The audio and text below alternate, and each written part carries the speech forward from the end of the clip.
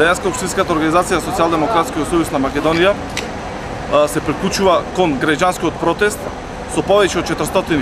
граѓани на општина Прилеп кои што сакаат да го изразат револтот на последната одлука од страна на така наречениот председател на Република Македонија Ѓорѓи Иванов, кој што сака јавно и на нетранспарентен начин преку неговата одлука за аболиција да ги амнестира оние лица кои што направиат криминал по последните 10 години на Република Македонија, лица кои што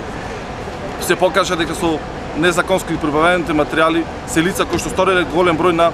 кривични дела. Денеска ние се упатуваме на мирен граѓански протест со цел да изразиме нашата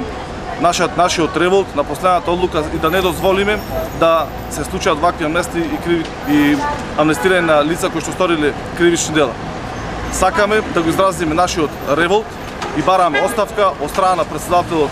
на Република Македонија Хорхе Ѓорџи Иванов, се со една цел да има легитимни, слободни, фер и демократски избори и народот се кажи својата волја на фер и демократски избори.